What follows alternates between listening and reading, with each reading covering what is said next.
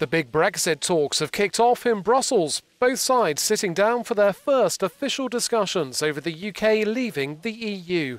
Britain's Conservative Party lost its overall majority in the recent election, but Brexit Secretary David Davis said that hasn't changed their negotiating position. Well, welcome. Because the, the, membership of the single market requires the four freedoms to be obeyed, uh, and we need to bring back to Britain control of our laws and control of our borders, we will be leaving the single market. We'll be seeking to set up a free trade arrangement uh, and a customs agreement.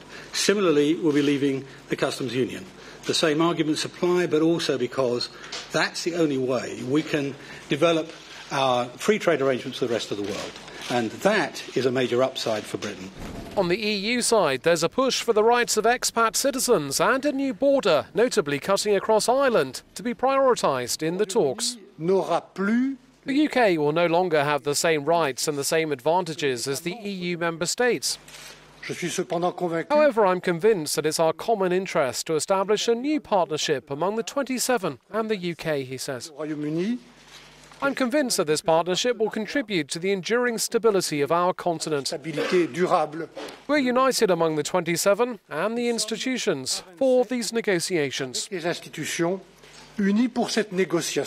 Thank you all for your Of course, there's also the matter of money to discuss. Britain's facing a bill of tens of billions of euros before it leaves in 21 months' time.